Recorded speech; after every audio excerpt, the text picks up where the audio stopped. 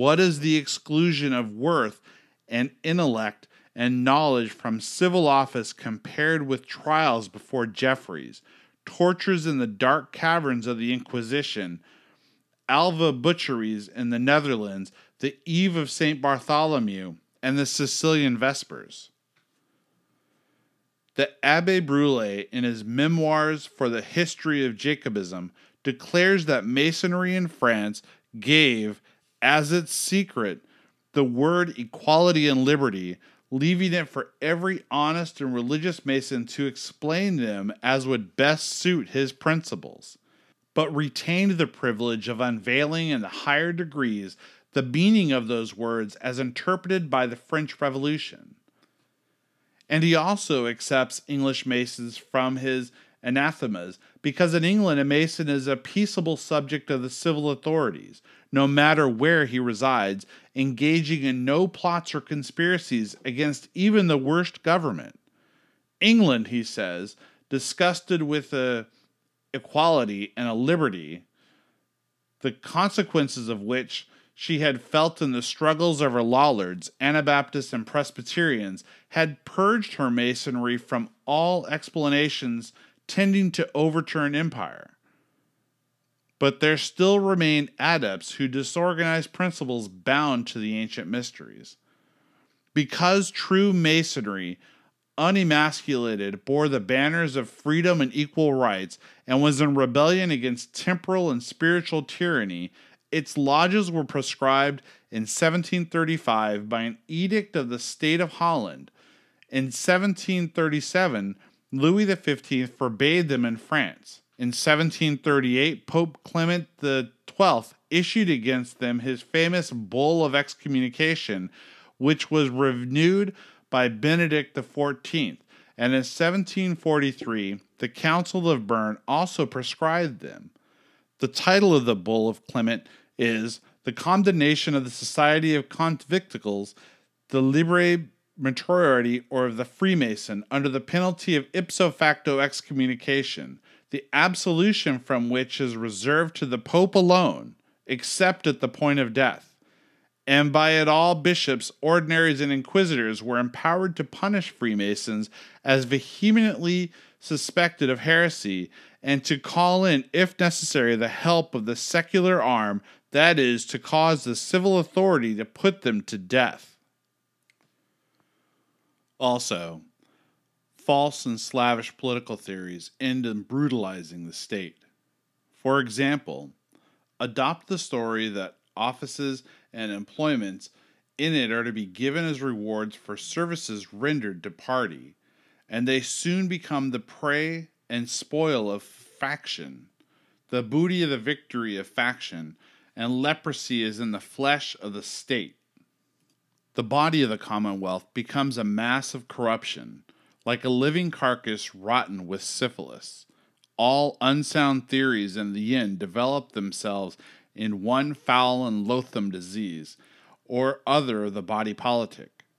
The state, like the man, must use constant effort to stay in the paths of virtue and manliness.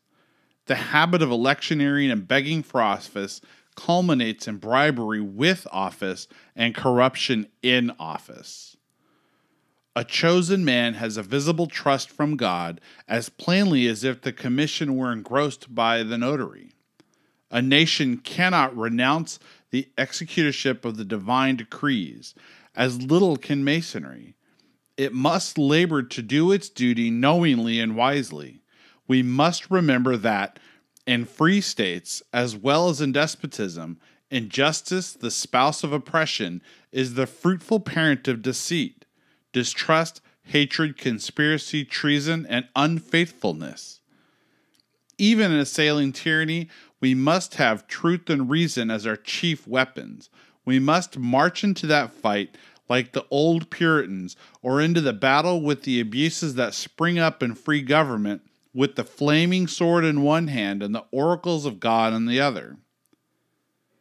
The citizen who cannot accomplish well the smallest purposes of public life cannot compass the larger. The vast power of endurance, forbearance, patience, and performance of a free people is acquired only by continual exercise of all the functions like the healthful physical human vigor. If the individual citizens it not, the state must equally be without it. It is of the essence of a free government that the people should not only be concerned in making the laws, but also in the execution. No man ought to be more ready to obey the administrator of law than he who has helped to make it. The business of government is carried on for the benefit of all, and every co partner should give counsel in cooperation. Remember also, as another shoal on which states are wrecked, that free states always tend toward the depositing of the citizens in strata, the creation of castes, the perpetuating of the jus divinum to office and families. The more democratic the state, the more sure this result. For as free states advance in power, there is a strong tendency towards centralization not from deliberate evil intention, but from the course of events and the indolence of human nature. The executive powers swell and enlarge to indoctrinate dimensions, and the executive is always aggressive with respect to the nation. Offices of all kinds are multiplied to reward partisans. The brute force of the swervage and lower strata of the mob obtains large representation, first in the lower offices and at last in senates, and bureaucracy raises its bald head, bristling with pins, girded with spectacles, and bunched with ribbons. The art of government becomes like a craft, and its guilds tend to become exclusive as, as those of the Middle Ages. Political science may be much improved as a subject of speculation but it should never be divorced from the actual national necessity. The science of governing men must always be practical rather than philosophical. There is not the same amount of positive or universal truth here as in the abstract sciences. What is true in one country may be very false in another. What is untrue today may become true in another generation and the truth of today may be reversed by the judgment of tomorrow.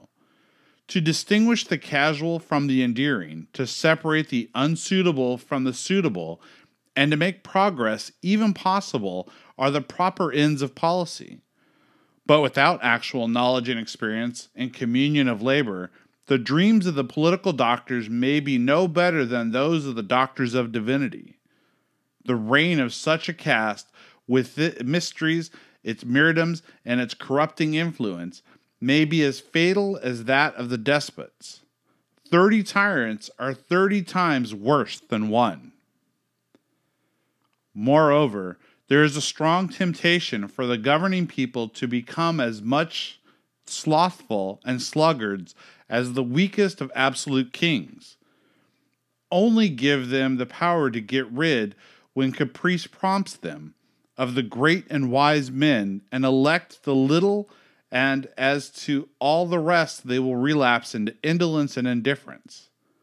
The central power, creation of the people, organized and cunning if not enlightened, is the perpetual tribunal set up by them for the redress of wrong and the rule of justice. It soon supplies itself with all the requisite machinery and is ready and apt for all kinds of interference. The people may be a child all its life. The central power may not be able to suggest the best scientific solution of a problem, but it has the easiest means of carrying an idea into effect. If the purpose to be attained is a large one, it requires a large comprehension. It is proper for the action of the central power. If it be a small one, it may be thwarted by disagreement. The central power must step in as an arbiter and prevent this. The people may be too averse to change, too slothful in their own business, unjust to be a minority or a majority. The central power must take the reins when the people drop them. France became centralized in its government more by the apathy and ignorance of its people than by the tyranny of its kings. When the inmost parish life is given up to the direct guardianship of the state, and the repair of the belfry of a country church requires a written order from the central power, a people is in its dotage. Men are thus nurtured in imbecility from the dawn of social life. When the central government feeds part of the people, it prepares all to be slaves. When it directs parish and country affairs, they are slaves already. The next step is to regulate labor and its wages. Nevertheless, whatever follies the free people may commit, even to the putting of the powers of legislature in the hands of the little competent and less honest, despair is not the final result. The terrible teacher, experience, writing his lessons on hearts desolate with calamity and wrung by agony, will make them wiser in time. Pretense and grimace and sordid beggary for votes will someday cease to avail. Have faith and struggle on against all evil influences and discouragements. Faith is the Savior and Redeemer of nations. When Christianity had grown a weak profitless and powerless, the Arab restorer and iconoclast came like a cleansing hurricane. When the Battle of Damascus was about to be fought, the Christian bishop at the early dawn, in his robes at the head of his clergy, with the cross once so triumphant raised in the air, came down to the gates of the city and laid open before the army of the testament of Christ. The Christian general Thomas laid his hands on the book and said, O God, if our faith be true, aid us and deliver us not into the hands of the enemies. But Khalid, the sword of the God who had marched from victory to victory, exclaimed to his wearied soldiers, Let no man sleep. There will be rest enough in the bowers of paradise, sweet with their repose, never more to be followed by labor. The faith of the Arab had become stronger than that of the Christian and he conquered. The sword is also, in the Bible, an emblem of speech or of the utterance of thought. Thus, in that vision or apocalypse of the sublime exile of Patmos, the protest in the name of the ideal overwhelming the real world, a tremendous satire uttered in the name of religion and liberty, and with its fiery reverberations smiting the thrones of Caesars, a sharp two edged sword comes out of the mouth of the semblance of the Son of Man, encircled by the seven golden candlesticks, and holding in his right hand seven stars. The Lord, says Isaiah, hath made my mouth like a sharp sword. I have slain them, said Hosea, by the words of my mouth. The word of God, says the writer of the apostolic letter to the Hebrews, is quick and powerful and sharper than any two edged sword, piercing even to the dividing asunder of soul and spirit. The soul of the Spirit, which is the Word of God, says Paul, writing to the Christians at Ephesus I will fight against them with the sword of my mouth. It is said in the Apocalypse to the angel of the church of Pergamos. The spoken discourse may roll on strongly as the great tidal wave, but like the wave, it dies at last feebly on the sands. It is heard by few, remembered by still fewer, and fades away, like an echo in the mountains, leaving no token of power. It is nothing to the living and coming generations of man. It was the written human speech that gave power and permanence to human thought it is this that makes the whole human history but one individual life. To write on the rocks is to write on solid parchment, but it requires a pilgrim to see it. There is but one copy, and time wears even that. To write on skins or papyrus was to give, as it were, but one tardy edition, and the rich only could procure it. The Chinese stereotyped not only the unchanging wisdom of old sages, but also the passing events. The process tended to suffocate thought and to hinder progress, For there is continual wandering in the wisest minds, and truth writes her last words not on clean tablets, but on the scrawl that error has made and often mended. Printing made the movable letters prolific. Thenceforth, the orator spoke almost visibly to listening nations, and the author wrote, like the Pope, his ecumenic decrees urbe et orbi, and ordered them to be posted up in all the marketplaces, remaining, if he chose, impervious to human sight.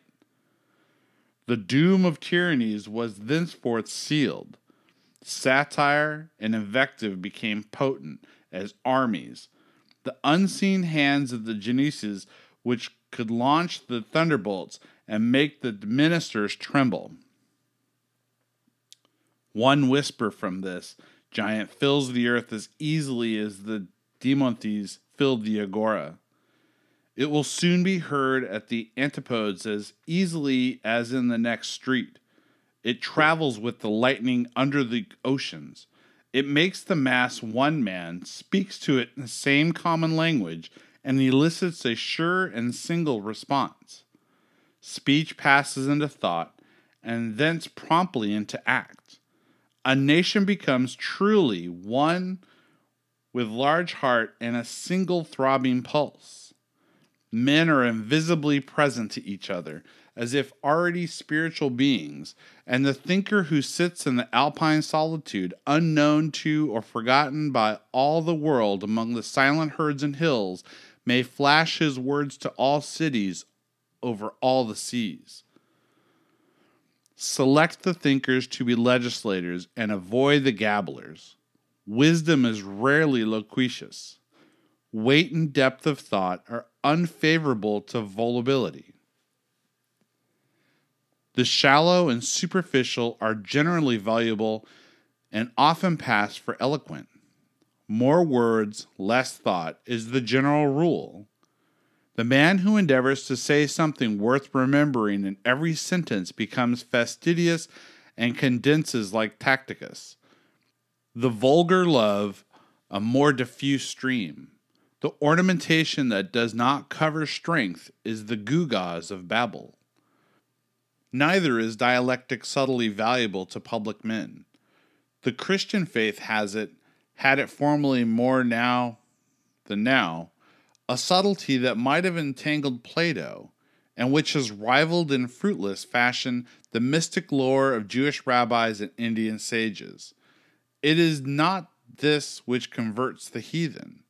It is a vain task to balance the great thoughts of the earth like hollow straws on the fingertips of disputation.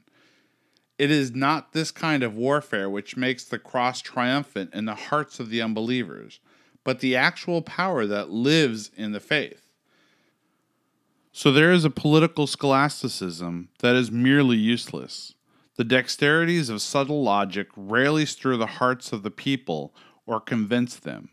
The true apostle of liberty, fraternity, and equality makes it a matter of life and death. His combatants are like those of Bossuet, combatants to the death. The true apostolic fire is like the lightning, it flashes convicting into the soul. The true word is verily a two edged sword. Matters of government and political science can be fairly dealt with only by sound reason and the logic of common sense, not the common sense of the ignorant, but of the wise. The acutest thinkers rarely succeed in becoming leaders of men. A watchword or a catchword is more potent with the people than logic, especially if this be the least metaphysical. When a political prophet arises to stir the dreaming, stagnant nation and hold back its feet from the irrevertible descent, to have the land as with an earthquake, shake the shilly, the silly, shallow idols from their seats. His words will come straight from God's own mouth and be thundered into the conscience. He will reason, teach, warn, and rule. The real sword of the Spirit is keener than the brightest blade of Damascus. Such men rule a land, and the strength of justice with wisdom and with power. Still, the men of dialectic subtlety often will rule because in practice they forget their finely spun theories and use the trenchant logic of common sense.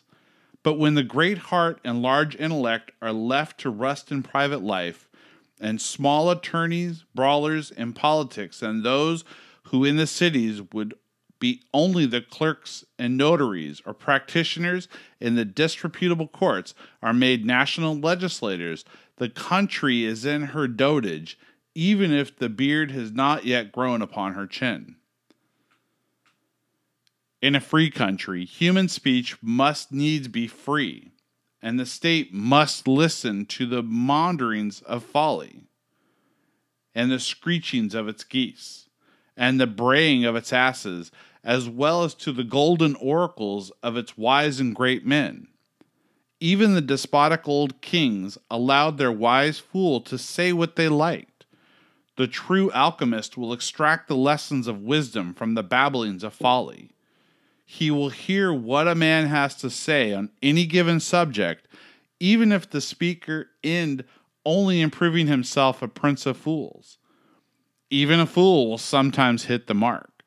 There is some truth in all men who are not compelled to suppress their souls and speak other men's thoughts. The finger, even of the idiot, may point to the great highway. A people as well as the sages, must learn to forget. If it neither learns the new nor forgets the old, it is fated, even if it has been royal for 30 generations. To unlearn is to learn, and also it is sometimes needful to learn again the forgotten. The antics of fools make the current follies more palpable, as fashions are shown to be absurd caricatures which so lead to their expiration. The buffoon and the zany are useful in their places. The ingenious artificer and craftsman, like Solomon, searches the earth for his materials and transforms the misshapen matter into glorious workmanship. The world is conquered by the head even more than by the hands. Nor will any assembly talk forever. After a time, when it has listened long enough and quietly puts the silly, the shallow, and the superficial to one side, it thinks and sets to work. The human thought, especially in popular assemblies, runs in the most singularly crooked channels, harder to trace and follow than the blind currents of the ocean. No notion is so absurd that it may not find a place there. The master workman must train these notions and vagaries with his two handed hammer. They twist out of the way of the sword thrusts and are invulnerable all over, even in the heel against logic. The martial or mace, the battle axe, the great double edged two handed sword must deal with follies. The rapier is no better against them than the wand, unless it is the rapier of ridicule. The sword is also the sword of war and of the soldier. Wars like thunderstorms are often necessary to purify the stagnant atmosphere. War is not a demon without remorse or reward. It restores the brotherhood in letters of fire. When men are seated in their pleasant places, sunken in ease and indolence, with pretense and incapacity and littleness, usurping all the high places of state, War is the baptism of blood and fire by which alone they can be renovated. It is the hurricane that brings the elemental equilibrium, the concord of power and wisdom. So long as these continue obstinately divorced, it will continue to chasten. In the mutual appeal of nations to God, there is the acknowledgement of His might. It lights the beacon of fire and freedom and heats the furnace through which the earnest and loyal pass to immortal glory. There is in war the doom of defeat, the quenchless sense of duty and stirring sense of honor, that measureless solemn sacrifice and devotedness, and the incense of success. Even in the flames and smoke of battle, the Mason discovers his brother and fulfills the sacred obligations of fraternity. Two, or the duad, is the symbol of antagonism, of good and evil, light and darkness. It is Cain and Abel, Eve and Lilith, Racham and Boaz, Ormuzd and Ahriman, Osiris and Typhon. Three, or the triad, is most significantly expressed by the equilateral and the right angled triangles. There are three principal colors of rays in the rainbow, which by intermixture make seven. The three are the blue, the yellow, and the red. The trinity of the deity, in one mode or another, has been an article in all creeds. He creates and preserves and destroys. He is the generative power, the productive capacity, and the result. The immaterial place, according to the Kabbalah, is composed of vitality or life, the breath of life, of soul or mind and spirit. Salt, sulfur, and mercury are the great symbols of the alchemists. To them, man was a body, soul, and spirit. Four is expressed by the square, or four sided right angled figure. Out of the symbolic Garden of Eden flowed a river divided into four streams Pison, which flows around the land of gold or light, Gihon, which flows around the land of Ethiopia or darkness, Hiddekel, running eastward to Assyria and the Euphrates. Zacharias saw four chariots coming out from between two mountains of bronze, in the first of which were red horses, in the second black in the third white, and in the fourth grizzled. And these were the four winds of the heavens that go forth from standing before the Lord of all the earth. Ezekiel saw the four living creatures, each with four faces and four wings the faces of a man, a lion, an ox, and an eagle, and the four wheels going upon their four sides. The Saint John beheld the four beasts, full of eyes before and behind the lion, the young ox, the man, and the flying eagle. Four were the signature of the earth. Therefore, in the 148th Psalm, of those who praise the Lord on the land, where there are four times four and four in the particular of the living creatures. Visible nature is described as the four quarters of the world and the four corners of the earth. There are four says an old Jewish saying, which takes the first place in this world man among the creatures, the eagle among birds, the ox among cattle, and the lion among wild beasts. Daniel saw four great beasts come up from the seas. Five is the duad added to the triad. It is expressed by the five pointed or blazing star the mysterious pentalpha of Pythagoras. It is indissoluble and connected with the number seven. Christ fed his disciples and the multitude with five loaves and two fishes, and of the fragments there remained twelve. That is, five and seven baskets full. Again, he fed them with seven loaves and a few little fishes, and there remained seven baskets full. The five apparently small planets, Mercury, Venus, Mars, Jupiter, and Saturn, with the two greater ones, the sun and the moon, constituted the seven celestial spheres. Seven was the peculiar sacred number. There were seven planets and spheres presided over by seven archangels. There were seven colors in the rainbow, and the Phoenician deity was called Heptaktis, or god of seven rays seven days of the week, and seven and five made the number of months, tribes, and apostles.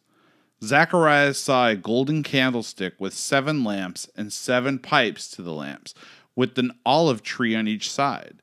Since he says, The seven eyes of the Lord shall rejoice and shall see the plummet in the hand of Zerubbabel. John in the Apocalypse writes seven epistles to the seven churches, and in these seven epistles there are 12 promises. What is said of the churches in praise or blame is completed in the number three.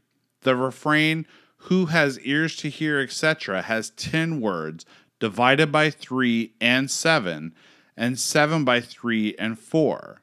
And the seven epistles are also so divided. In the seals, trumpets, and vials also of this symbolic vision, The seven are divided by four and three. He who sends his message to Ephesus holds the seven stars in his right hand and walks amid the seven golden lamps. In six days or periods, God created the universe and paused on the seventh day. Of clean beasts, Noah was directed to take by seven into the ark, and of fowls by seven, because in seven days the rain was to commence. On the seventeenth day of the month, the rain began. On the seventeenth day of the seventh month, the ark rested on Ararat. When the dove returned, Noah waited seven days before he sent her forth again, and again seven after she returned with the olive leaf. Enoch was the seventh patriarch, Adam included, and Lamech lived 777 years. There were seven lamps in the great candlestick of the tabernacle in the temple, representing the seven planets. Seven times Moses sprinkled the anointing oil upon the altar. The days of consecration of Aaron and his sons were seven in number. A woman was unclean seven days after childbirth. One infected with leprosy was shut up seven days. Seven times the leper was sprinkled with the blood of a slain bird, and seven days afterwards he must remain abroad out of his tent.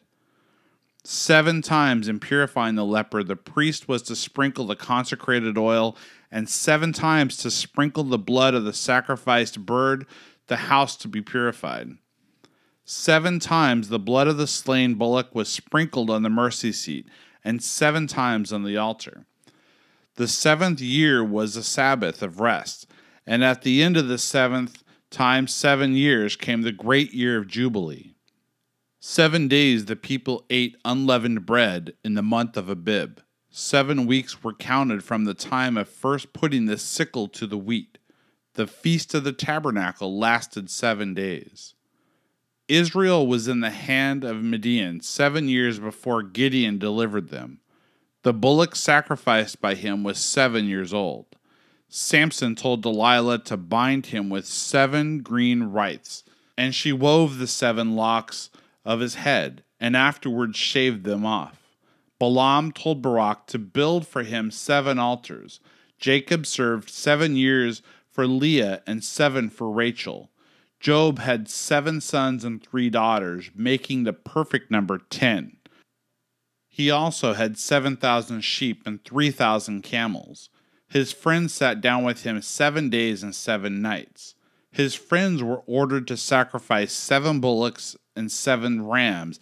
And again at the end, he had seven sons and three daughters, and twice 7,000 sheep, and lived in a 140 or twice seven times 10 years.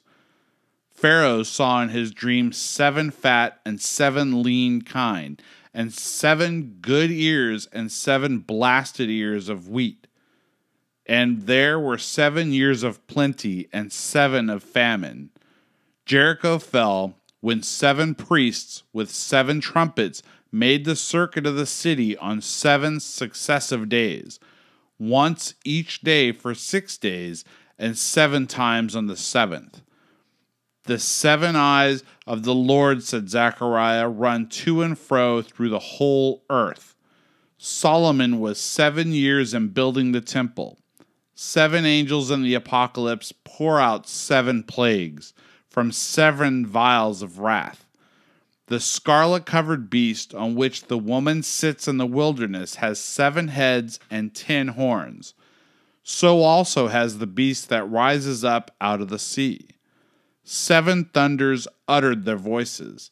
Seven angels surrounded seven trumpets.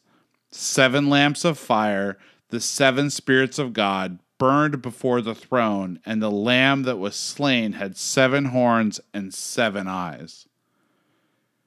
Eight is the first cube, that of two. Nine is the square of three and represented by the triple triangle. Ten includes all other numbers. It is especially seven and three and is called the number of perfection. Pythagoras represented it by the tetractys which had many mystical meanings. This symbol is sometimes composed of dots or points, sometimes of commas or yods, and in the Kabbalah of the letters of the name of deity. It is thus arranged as a tetragrammaton. The patriarchs from Adam to Noah inclusive are 10 in number, and by the same number is that of the commandments. 12 is the number of the lines of equal length that form a cube. It is the number of the months, the tribes, and the apostles of the oxen under the brazen sea, of the stones on the breastplate of the high priest. Thank you for listening to this recording of the Fellowcraft Morals and Dogma. Hope you enjoyed what you heard. If you did, give a like down below and click subscribe to get updates as they become available. Thanks.